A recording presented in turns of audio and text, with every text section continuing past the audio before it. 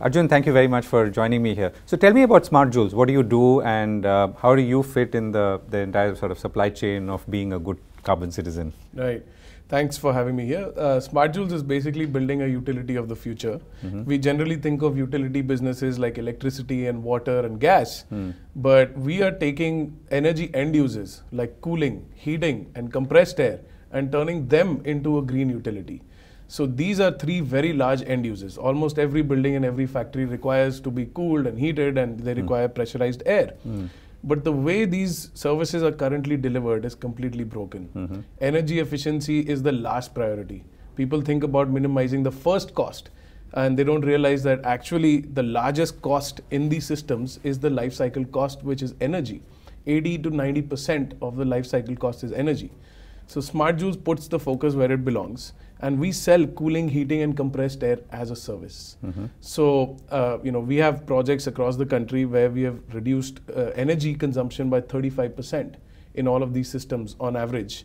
So that's what we do. Right. So give me an example of uh, either cooling, heating, or compressed air. Yeah, exactly. Yeah. So typical example. Let's take a case of a hospital. A hospital of 300 beds will spend anywhere between 4 to 5 crore rupees per year on energy, mm-hmm. out of which about 60% is going to be for air conditioning. Mm. So, what Smart Joules does is takes over the entire air conditioning system, we redesign it, retrofit it with the latest and greatest best in class technologies, and then automate the operations. We turn from human thumb rule based operations to completely automated data based operations. So in doing so, we are able to reduce the consumption that three crores per year mm-hmm. that is going into air conditioning to about one and a half. Mm-hmm. And what we sell to the customer is a percentage of the energy savings that we deliver. Mm. So we don't sell them equipment or services, we sell them energy savings. Mm-hmm. And we take all our fees as part of the savings that we deliver this is our delivery to an existing facility. Right. So For when you talk about yeah, yes, so when yes, you talk about cooling, if I were to yeah, pick up yeah, on that, so what is it that you're doing specifically? Are you reducing the number of hours? Let's say machines are running, mm-hmm. or uh, are you changing, move, playing around with temperatures, right. or is it something else? Yeah, a very good question. See, there's three things that we do primarily, three buckets. Mm. The first is excellent design. Mm. So we design the systems to be as efficient as possible. Mm-hmm. The second is choosing and investing in the best in class equipment which is typically more expensive than your standard equipment. Mm. So a very simple way to think about it is for your home, you may have a three-star AC, mm. but there are inverter ACs which are extremely efficient, mm. maybe twice as much as a three-star AC, but most people would shy away from that. We heavily invest in the best-in-class technology. And the third, which is the most important, we have uh, we have proprietary technology to automate the operations.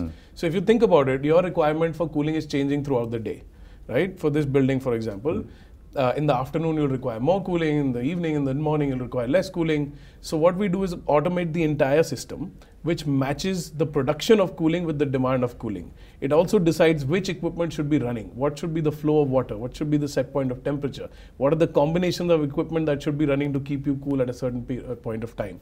So by automating operations based on real data, we are able to reduce the demand by a very large, substantial fraction. And and and the model that you've developed is is this something that could fit uniformly across kinds of cooling requirements, or is it like would hospitals need a certain kind of algorithm, for example, mm-hmm, mm-hmm. and maybe a, a large yeah. mall require mm-hmm, a different kind of so the good news is that you don't have to build every time. Hmm. So every chiller plant, for example, is very similar.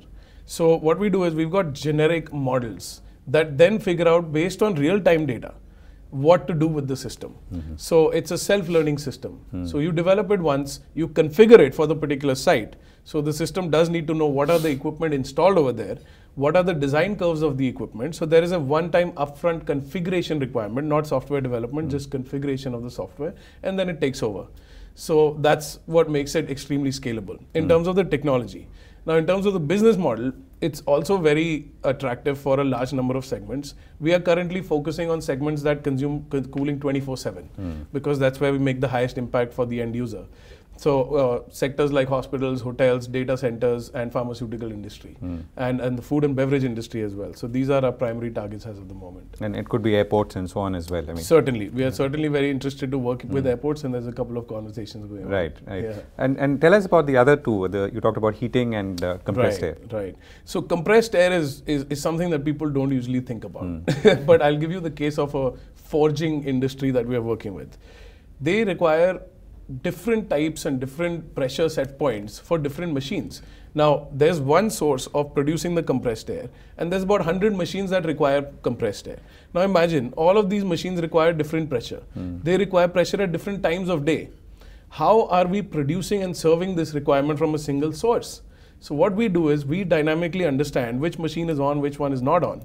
And based on that, what are the pressure set points that need to be maintained and how much compressed air should be given to different areas and then optimize the compressor plant to actually produce what is required when it is required and distribute it. So, uh, you know, here in, again in compressed air, similar to cooling, we have been able to see savings of 35% uh, for an existing plant, which was already pretty efficient. Uh, and, and, compressed air is something that every industry uses. The cement industry, heavy consumer, uh, like one cement plant that we are talking about right now, it has 72 compressors across the plant for various applications forging industry, steel industry, the automobile industry, almost every industry requires compressed air and it is uh, very typically ignored.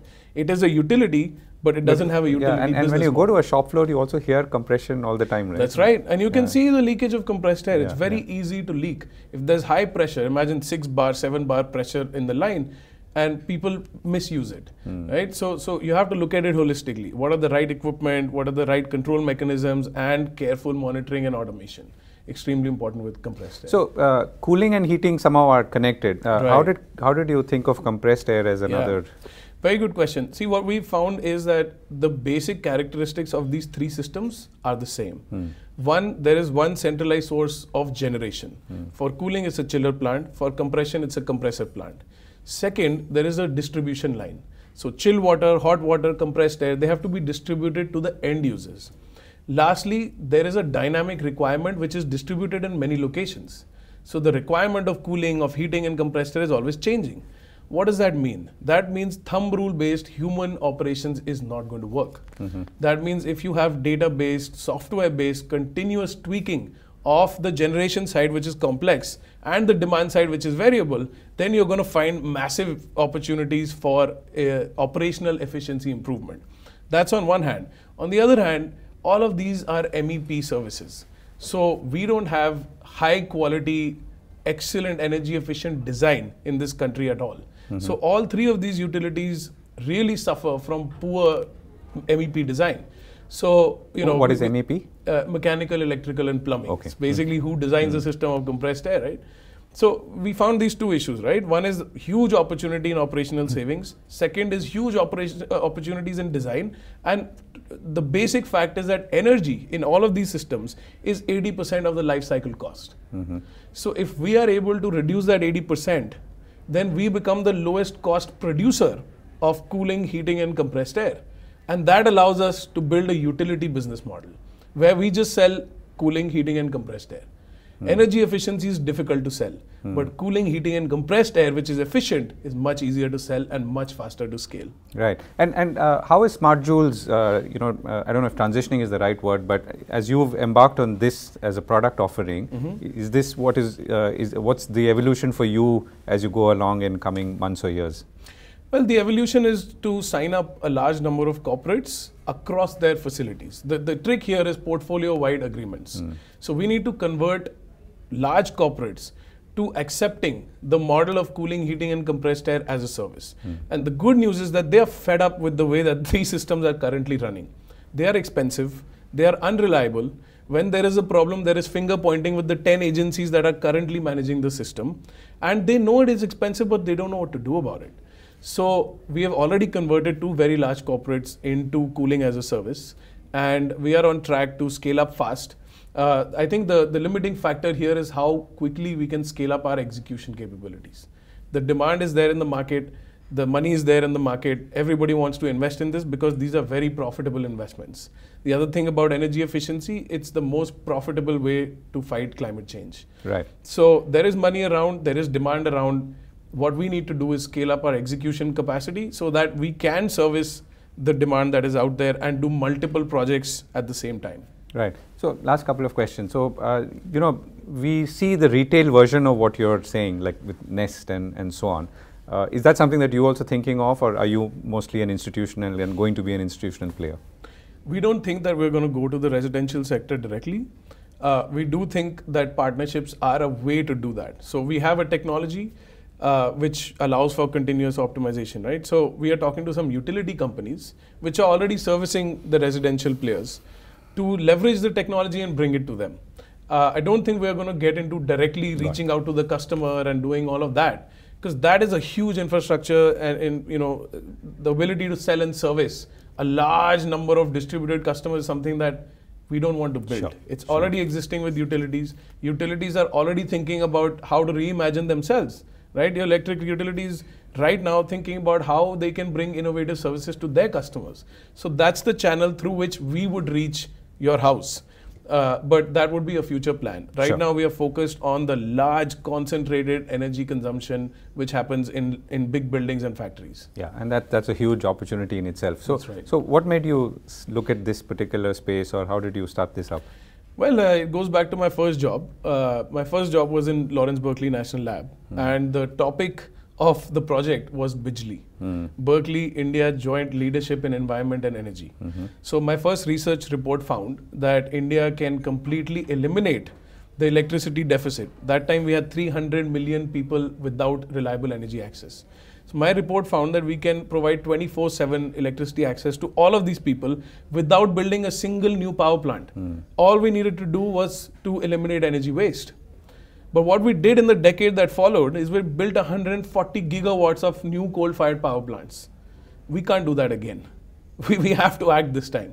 So I decided to start this company to actually work on that issue that I had identified in my first job.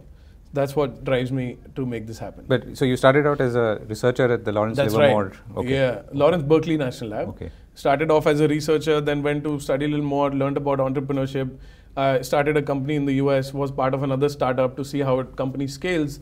Then came back to India and saw the problem really on the ground. I joined a very large company, Jaypee Group, mm-hmm. in the chairman's office. Got to see all the facilities and, and what is the energy waste looking like? How do we address C- it? Cement.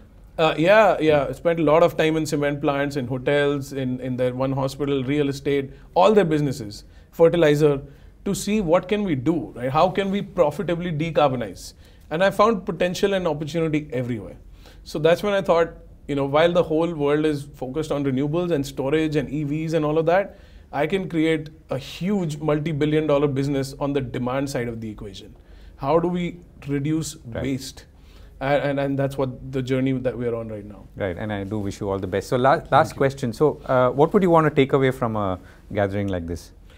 Uh, I would want the business cards of all the leaders that are out here, and I would want to convert them into accepting the model of buying cooling, heating, and compressed air as a service. Right. That's a wonderful uh, pitch. Thank you so much.